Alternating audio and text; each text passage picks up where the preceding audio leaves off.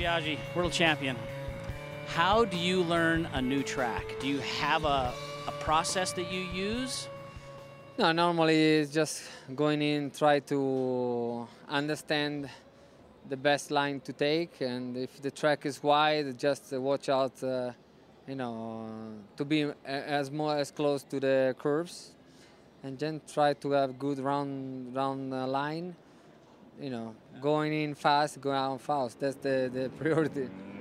Have you been watching any of the AMA guys and watching what they do? No, not really, not really. We, we don't have, you know, we don't get so much cover, you know, about uh, AMA. But uh, in some race, uh, we watch. we have a channel in Eurosport where we can see some some of those races. But it's the, the, the layout of the track compared to the European standards, a lot of difference.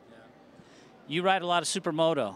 How does that help your road racing? No, no, I just do it for fun and I, I enjoy. I have friends. It's like hobby for me and it's a, it's a pleasure. It's nice.